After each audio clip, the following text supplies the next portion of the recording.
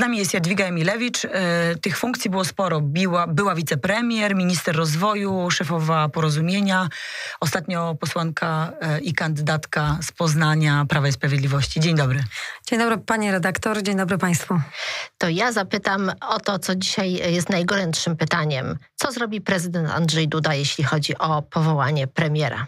No, na pewno dotrzyma wszystkich konstytucyjnych terminów. Domyślnie, nie rozmawiałam z panem prezydentem, no ale, ale domyślam, się, że, domyślam się, że dotrzyma wszystkich konstytucyjnych terminów. Jest po rozmowach, jak rozumiem, chyba zakończyły się już ze wszystkimi ugrupowaniami, które wchodzą, liderami ugrupowań, które wchodzą do, e, do Sejmu. No i wskaże pewnie osobę, Ale komu która... właśnie? Komu jako pierwszemu powierzy misję tworzenia rządu? Naprawdę no nie mnie o tym decydować. No myślę, że jest zgodnie z, z e, prawem konstytucyjnym, które posiada, może wskazać lidera największego ugrupowania. No tym największym ugrupowaniem jest ciągle, przypomnijmy, Prawo i Sprawiedliwość, e, po to, żeby sprawdzić, czy ma zdolności koalicyjne. Ale to jest decyzja pana prezydenta. Ja nie chciałabym o tym przesądzać. Nie zdziwię się zatem, jeżeli to będzie Prawo i Sprawiedliwość. Pani poseł, gdyby pani była Mateuszem Morawieckim, e, desygnowaną przez, e, przez Prawo i Sprawiedliwość na premiera, pani by przyjęła taką misję tworzenia rządu, wiedząc, że e, no, ta większość, no jej praktycznie nie ma?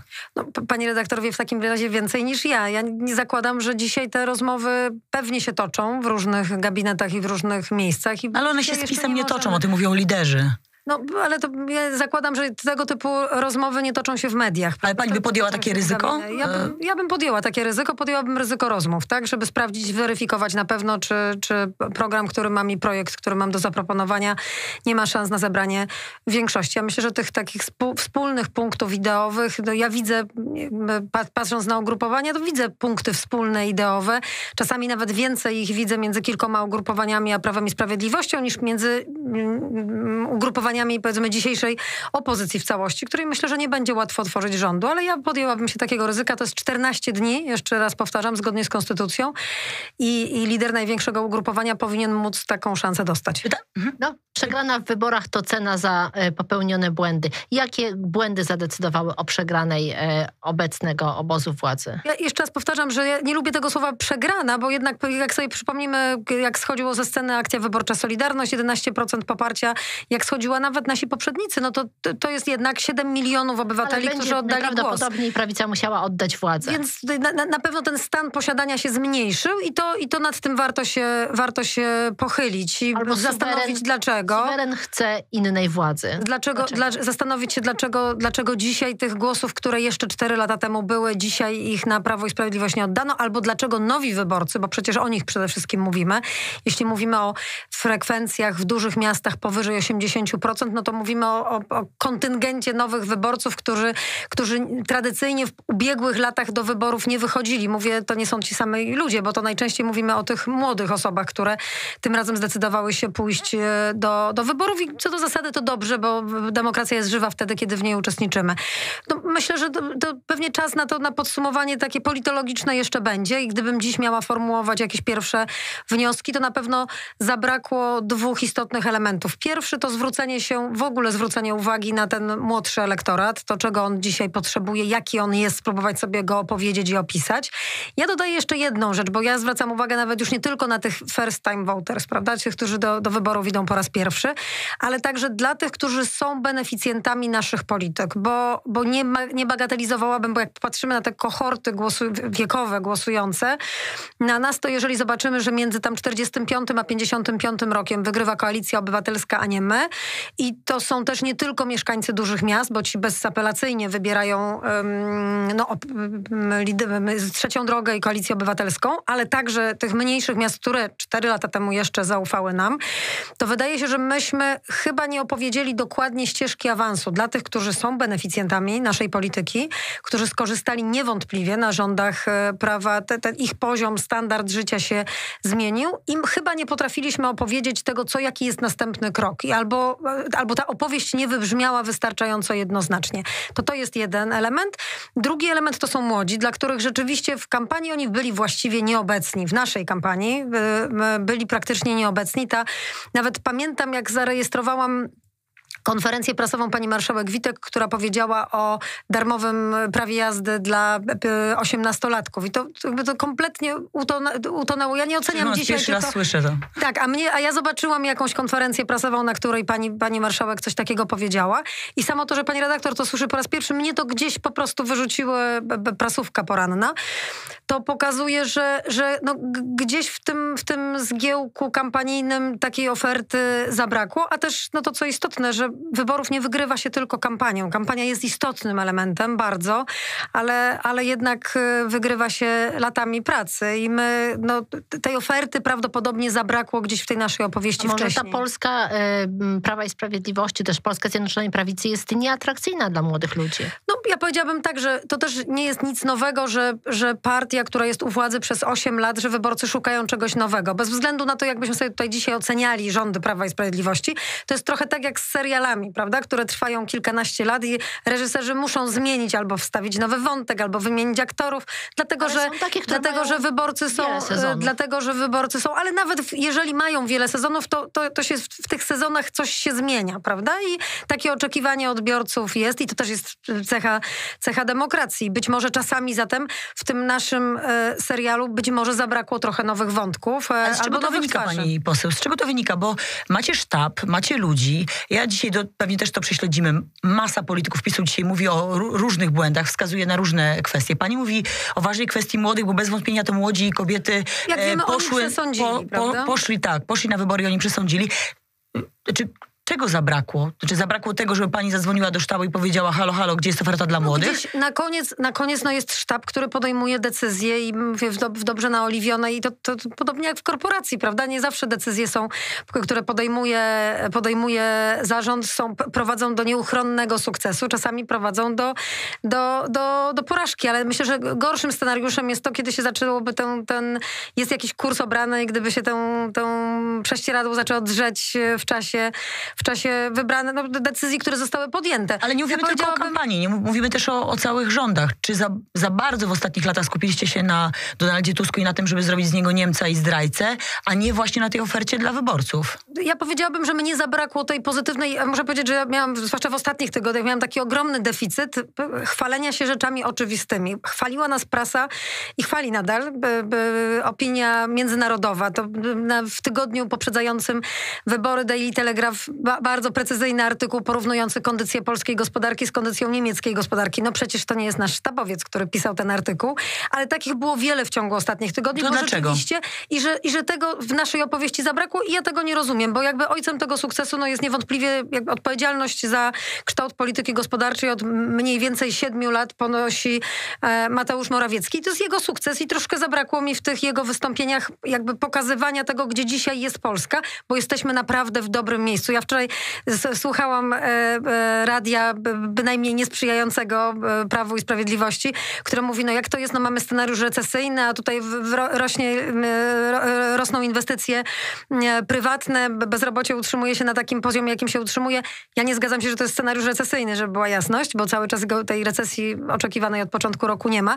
Więc mamy obiektywnie dobre dane gospodarcze, wychodzimy naprawdę z kolejnego kryzysu no, w miarę obronną ręką i myśmy tego nie opowiadali. I to, no, to jest jakiś błąd, który został Ale Mateusz Morawiecki w debacie y, wyborczej telewizyjnej jak w bęben walił w Donalda Tuska w odpowiedzi na każde pytanie i to była jego główna opowieść. No ale to już zostawmy historykom, tak. politologom ale, ale pani, wie, że tak? My on dzisiaj... sam tego nie wymyślił. To mu doradzali konkretni sztabowcy. Rozumiem, że decyzja w sztabie była taka, idziemy na polaryzację, idziemy na negatywną e, kampanię, idziemy w negatywną kampanię w straszenie Donaldem Tuskiem i w ogóle generalnie w straszenie ludzi. Ale też powiedzmy sobie, że ta strategia na polaryzację ona służyła też bardzo długo, bo właściwie do, jakby miała pewnie oceniać na linii czasu, to mniej więcej do dwóch tygodni, dwóch i pół tygodnia przed wyborami. Ona służyła również największej partii opozycyjnej, bo przecież ta największa partia opozycyjna też w ten kolejny polaryzacyjny bardzo mocno weszła. No przypomnijmy, że frekwencji. Przypomnijmy też, że przypomnijmy też, że, że bardzo długo strategią, główną strategią e, koalicji obywatelskiej właściwie były dwie, dwa elementy tego, tego procesu politycznego. Pierwszy, no to mm, odsuńmy PiS od władzy, a potem jakoś to będzie, bo ja jednak cały czas podtrzymuję, że no ja nie spotkałam się realnie z programem wybor, konstruktywnym programem wyborczym Koalicji Obywatelskiej. E, Poza tym tam no było, są Stoko, ja potem wzięłam, no, jakby nie chciałabym dzisiaj referować, ale na przykład te elementy, które mnie szczególnie interesowały dotyczące na przykład energetyki rozproszonej, to uśmiechałam się dlatego, że wiele rzeczy już zostało zrealizowanych. Ubolewałam nad tym, że koledzy tworzący, tworzący ten program nie zauważyli, że pewne nawet za nimi głosowali w, w minionej kadencji. Ale mówiąc zupełnie poważnie, czyli po pierwsze odsunąć PiS od władzy, ale po drugie również no, jakby umniejszyć rolę innych e, partii opozycyjnych. I jak rozumiem, ta korekta nastała dwa tygodnie przed, kiedy okazało się, że może się okazać, że koalicja jednak tych 40% sama nie osiągnie. No i trzeba tutaj wpuścić troszkę tlenu do pozostałych partii opozycyjnych i ona, no ta strategia, trzeba powiedzieć jasno, sztabowcom pochwalić sztabowców opozycji, ja chciałam że dała sukces. Teraz panią o to, jakie jest pani przewidywanie, co stanie się e, z Zjednoczoną Prawicą, z PiSem jako opozycją. Czy tam dojdzie do tarć, czy dojdzie do jakiegoś rozliczenia, a w jego wyniku do jakichś rozłamów? Ja myślę, że scenariusze rozłamowe, my w tym, znaczy wielu polityków obozu Zjednoczonej Prawicy dziś pamięta e, Polskę jeszcze sprzed 2015 roku i wie, że tarcia i rozłamy no to nie prowadzą do, do sukcesu. Ja mam nadzieję na dwie rzeczy. Po pierwsze, jesteśmy dzisiaj w znaczy pewien trend europejski, my jesteśmy w kontrtrendzie. Trend europejski, dyskusje, jakie dzisiaj toczone są we Francji, w Niemczech, w Hiszpanii, dotyczące tego, gdzie jest dziś Europa, o kryzysie Europy, są realne. Czyli diagnozy, które stawiało Prawo i Sprawiedliwość przez ostatnie lata, okazują się diagnozami, które powiela dzisiaj, czy też odkrywa na swój sposób e, wielu, wielu liderów Europy e, Zachodniej. Wydaje się, że, że mamy koniec Francji Macrona, że mamy też koniec pewnego bankructwo polityki e, Scholza, co po, kolejne wybory landowe. A zatem ten, w tej debacie w przyszłym roku, w której wchodzimy w cykl wyborczy kolejny, tak, z jednej strony samorządowy, ale z drugiej niebagatelna dyskusja o przyszłości Europy. Że to jest ten moment, kiedy myślę, my powinniśmy wyciągnąć konsekwencje i odwołując się do tego, o czym powiedziała pani redaktor wcześniej, już nie ma powodu do tego, żeby do jakby polaryzacji, czy też odwoływania się na, na nazwaniu z imienia, nazwiska oponenta, ale jakby pokazania swojego programu. To jest dobry program, to znaczy mówienie dzisiaj o kryzysie Europy i o tym, jak z niego możemy wyjść nieco inną metodą niż federalizacja Europy, jest czymś, do czego ma pełny mandat prawica i Prawo i Sprawiedliwość. Więc ja powiedziałabym tak, że nie wyobrażam sobie, że w przyszłym roku nastąpi jakieś rozpady czy rozłamy w obozie Zjednoczonej Czyli Prawicy. Ziobro pozostanie na pokładzie. No jakby nie mnie o tym... Zapytała mnie pani redaktor o Prawo i Sprawiedliwość, więc no, Zbigniew Ziobro jest jednak osobnym bytem politycznym. Pytałam też o Zjednoczoną Prawicę, tak, więc pytanie, lubię. czy będzie płynął na tym statku razem z Jarosławem Kaczyńskim, czy jednak no to, to jakby tu ja nie, nie chciałabym wybiegać, naprawdę nie znam planów politycznych Zbigniewa Ziobry. Jest jego na pewno sukcesem, że utrzymał stan posiadania, prawda? Czyli tylu posłów, ilu posiadał w poprzedniej kadencji, on wprowadza do Sejmu e, nowej kadencji. E, czy, e, czy się, e, tak jak powiedziałam, że diagnoza obozu Zjednoczonej Prawicy co do kondycji Europy wydaje się zasadna i słuszna, a zatem jest to czas na, na, zaprezentowanie porządnej debaty programowej o przyszłości Europy i miejscu Polski w tej Europie. I wydaje się, że my, jeżeli mówimy o prawie i sprawiedliwości, bo tutaj mam jakąś legitymację jako członek, chociaż nie y, członek partii, ale członek tego klubu i, i dużą znajomość i posłów i, e, i władz Prawa i Sprawiedliwości, nie wydaje mi się, że, że, że partia nie utrzyma się w całości. Na pewno w tym kolejnym cyklu wyborczym tutaj ta spójność zostanie utrzymana. Trudno mi sobie dzisiaj wyobrazić, trudno mi sobie wyobrazić, jakie będą decyzje e, Zbigniewa, Zbigniewa Ziobry, ale ta... Ja zapytam, czy pani zdaniem on jest obciążeniem Prawa i Sprawiedliwości? Bo te kwestie europejskie was różnią. To jest, co, to jest to, co was różniło przez te ostatnie lata. To jest to, co też doprowadziło w ostatecznym rozrachunku do braku pieniędzy z KPO. Czy pana zda, pani zdaniem Zbigniew Ziobro obciąża dzisiaj Prawo i Sprawiedliwość ja swoim radykalizm, radykalizmem, jeśli chodzi o Unię Europejską? Ja bym powiedziała, że nas nie różniły kwestie co do oceny sytuacji w Europie. Różniliśmy się w, w zdecydowanie jeżeli chodzi o modus operandi, o sposób realizacji tego, tych, tych założeń programowych. No, ja powiedziałabym, że mój największy problem, jeśli miałabym zdefiniować, gdzie my się różnimy z, z kolegami z Solidarnej Polski, to jest to, co zresztą wiele razy mówiłam tym kolegom, że my nie możemy zachowywać się będąc w rządzie, jakbyśmy byli w opozycji. Jeżeli chcemy realizować naszą agendę, to musimy do tego, ten, jakby po, osiągnęliśmy pełnoletność w Unii Europejskiej. To daje nam z jednej strony prawo do wypowiadania się także krytycznie o tej wspólnocie, jeżeli ona ma dzisiaj problemy, a ma. Natomiast mamy pewne instrumenty na stole, z których warto, abyśmy skorzystali. Jeżeli wchodzimy i wchodzimy do sklepu muzycznego, to nie wchodzimy, to, to, to korzystamy z instrumentów, które są w tym sklepie muzycznym, a nie udajemy, że jesteśmy w sklepie Drwala. I tutaj była nasza podstawowa różnica, że mnie się wydawało, że nasi koledzy z Solidarnej Polski pomylili sobie sklepy. E, natomiast jeżeli chodzi o diagnozę, tak jak powtarzam, to ona czasami bardziej radykalnie formułowana, ale pewnie my się nie różnimy w sposób znaczący. Co ale do są tego, obciążeniem dla was? Jak, jak... Znaczy, ale jednak y, Ziobro skutecznie zaszantażował y, Prawo i Sprawiedliwość i pieniędzy z KPO nie mamy do dzisiaj. No tutaj, jak wiemy, to nie była kwestia dotycząca różnicy między po polityki europejskiej, tylko różnicy co do tego, jak definiujemy reformę praw wymiaru sprawiedliwości. Na którą odpowiadał którym się, Ziobro. Z którym się... I ja bym powiedziała tak, że to, i o tym też wiele razy mówiłam, że t, t, w przypadku reformy wymiaru sprawiedliwości czasami bywało tak, że myśmy zapłacili za cały obiad, a nie zjedliśmy nawet przystawki. Co to oznacza, że zamiast stworzyć reformę wymiaru sprawiedliwości, która realnie byłaby poprawą kondycji tego wymiaru, bo przypomnijmy, że kiedy przychodziliśmy do władzy w 2015 roku, ocena stanu wymiaru sprawiedliwości społeczna ponad podziałami politycznymi była jednoznacznie negatywna. A zatem myśmy nie sprawili tego, że przedsiębiorcy, którymi się zajmowałam przez 6 lat w, w, w rządzie, poczuli, że uprościły się procedury, że oni rzeczywiście, że sprawy są rozwiązywane szybciej i sprawniej, że pewne rzeczy są w ogóle wyciągnięte z sali sądowej, bo w sporach gospodarczych nie, nie zawsze sala sądowa jest najlepszym miejscem, że to się nie wydarzyło. Natomiast rzeczywiście powstało wiele e, sytuacji kolizyjnych, które no, pewnie gdyby reforma była prowadzona może nie, w nieco bardziej koncyliacyjny sposób, bo to, że ona musiała się wydarzyć, to ja nie mam co do tego wątpliwości. To, to, to być może nie mielibyśmy takiego kursu kolizyjnego z Komisją Europejską. Chociaż jeszcze raz chciałabym tutaj jedną rzecz powiedzieć, że to, że dzisiaj Europejski Trybunał Sprawiedliwości, jak i pozostałe instytucje europejskie zmierzają do rozszerzenia swoich kompetencji. Jest to proces, moim zdaniem, dla państw narodowych niebezpieczny i na który warto zwrócić uwagę i na, na który chętnie zwróciłabym uwagę naszym następcom, jeśli to nie Prawo i Sprawiedliwość będzie tworzyć. Co dalej z Jarosławem Kaczyńskim? Czy przetrwa jako prezes Prawa i Sprawiedliwości do końca kadencji? No to jest po pierwsze, no jak wiemy, jeszcze sam pan prezes Kaczyński powiedział, że jeszcze półtora roku, kiedy jest prezesem Prawa i Sprawiedliwości, to się na pewno w tym czasie nie zmieni. A co dalej? No to tak drogie panie, półtora roku w polityce to jest jak epoka lodowcowa. To naprawdę wiele rzeczy się w tym czasie może wydarzyć. Także na pewno przez te półtora roku Jarosław Kaczyński będzie prezesem, dlatego że jest zwornikiem. To jest duża partia, to jest wielu posłów i e, moderowanie tej dyskusji jest na pewno wewnętrznej, partyjnej, jest bardzo trudnym, ogromnym wyzwaniem. Dzisiaj trudno mi sobie wyobrazić, że ktoś inny mógłby to robić. A pani, pani poseł Mateusz Morawiecki, czy ta sprawa, jeśli on by przyjął misję rządu jak wiadomo, z finałem prawdopodobnie takim, że oni tej większości nie znajdą, to będzie dla niego taka, takie wysadzenie go e, już na stałe z szefa rządu, że podejmie się misji no, bez sukcesu?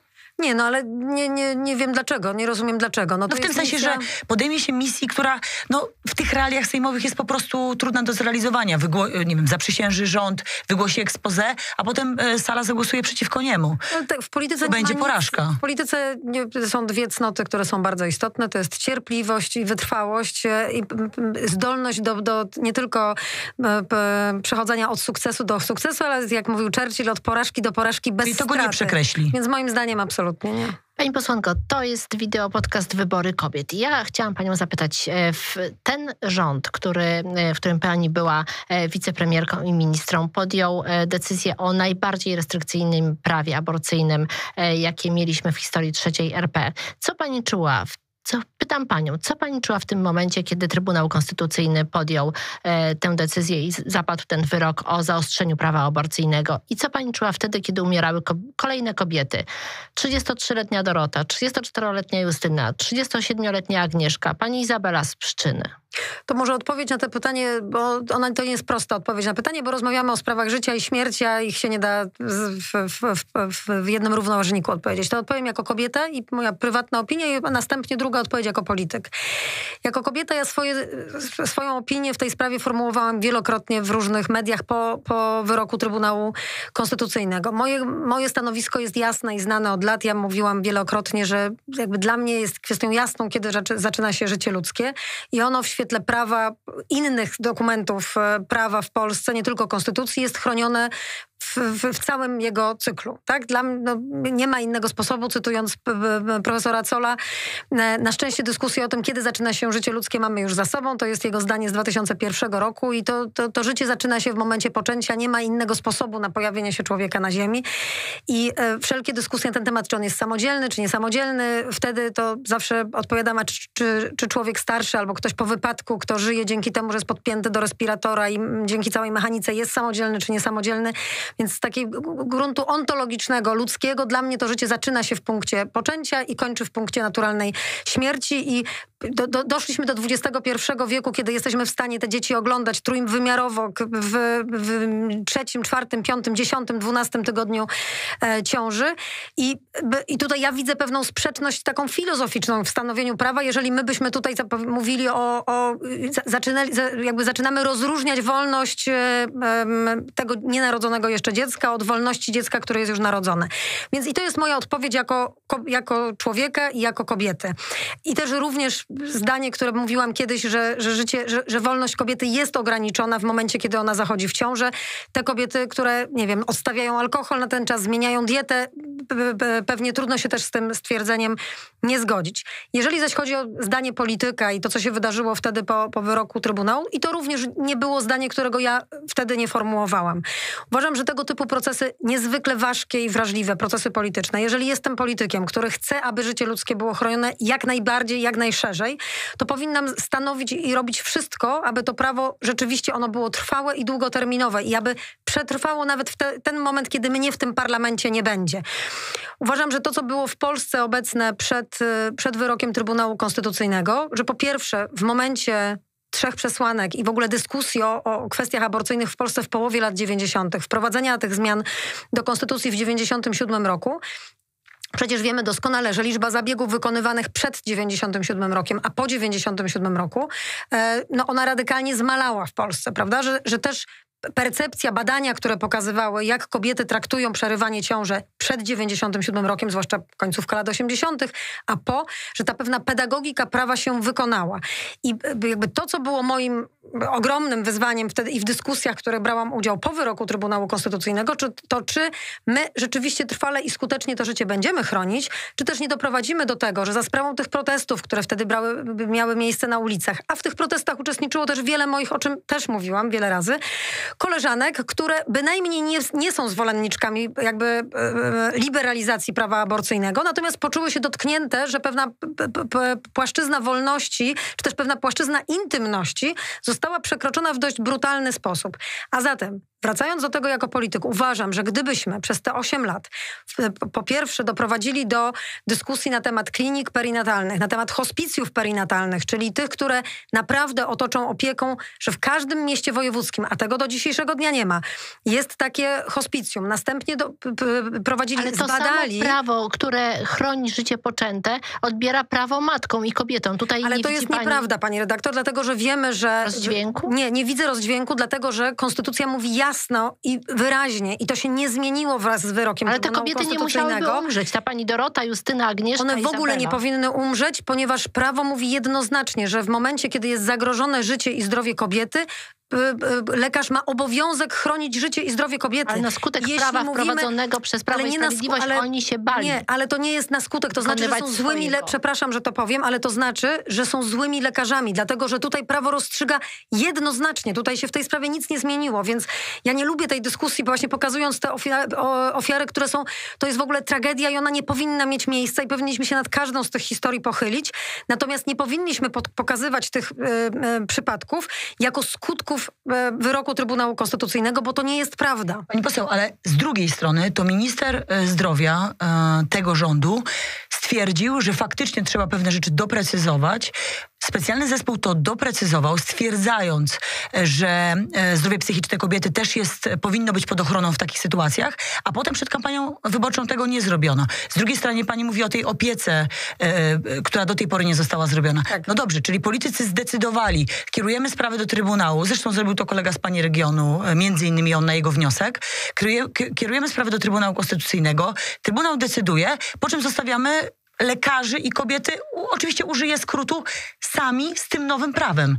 Czyli zabrakło po waszej stronie, po stronie Tak, rządu tutaj- konkretnych decyzji. Tak, tutaj zabrakło przede wszystkim, powiedziałabym, mówię, tego typu polityka, która dotyczy tak wrażliwych kwestii, powinna być naprawdę poprzedzona. Yy, yy, Powinniśmy powiedzieć kobietom w Polsce, jeśli wprowadzamy tego typu prawo, że jeśli kobieta czuje się zagrożona bądź nie, nie, nie gotowa do tego, żeby udźwignąć ciążę zagrożoną, że państwo polskie przejmuje wszelką odpowiedzialność w takim przypadku.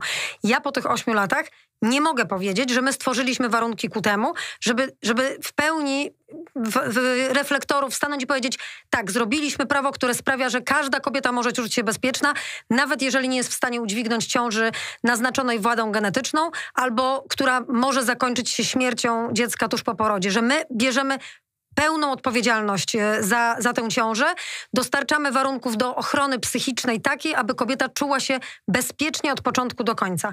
Bo, bo i, i to był największy błąd, jaki, który ja widzę w procesie wprowadzania mm, tej przesłanki. I między nami też u, uważam, że to jest tego typu sprawa, która powinna być przeprowadzona zmianą ustawową, a nie wnioskiem do Trybunału A Konstytucyjnego. co się przyczyniło do takiej decyzji Prawa i Sprawiedliwości? Czy to był interes polityczny, czy to była kwestia kościoła? To nie jest pytanie do mnie, to ja nie byłam wśród inicjatorów tego wniosku, to jest pytanie do wnioskodawcy. To na koniec krótkie pytanie i krótka odpowiedź. Nie uzyskała pani mandatu poselskiego. Pozostaje pani w polityce?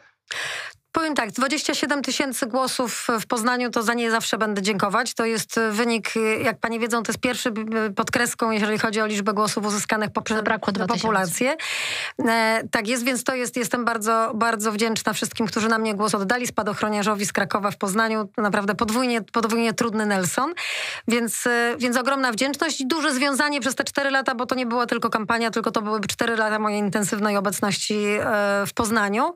I, I to jest bardzo duża satysfakcja, więc e, powiedziałabym tak, że to jest na pewno dobry czas na metapolitykę dla prawicy, bo to jest czas, kiedy myślę, że to odejście e, dzisiaj, to, że e, jeżeli prawica nie będzie, nie stworzy rządu na, na koniec i będzie musiała dzisiaj po pierwsze ten język do, dla młodych ludzi w, no, napisać go na nowo, po drugie w świetle wyzwań globalnych, europejskich związanych z wojną na Ukrainie także z, opowiedzieć go na nowo, no to ktoś to będzie musiał zrobić. Ja z metapolityki do polityki weszłam. Dla mnie to jest naturalne środowisko. Nie żegnam się z Poznaniem, z metapolityką także się nie żegnam. Ale będzie pani chciała startować w wyborach europejskich? To, no, dzisiaj to na pewno za wcześnie, aby o tym e, mówić. Na pewno będę w, wśród tych osób, które będą tworzyły programy, e, czy też ten nowy język prawicy w tych najbliższych e, miesiącach i latach. To dziękujemy bardzo za gościnę u nas. Z nami była Jadwiga Emilewicz, wicepremiera i ministra rządu Mateusza Morawieckiego. Dziękuję bardzo.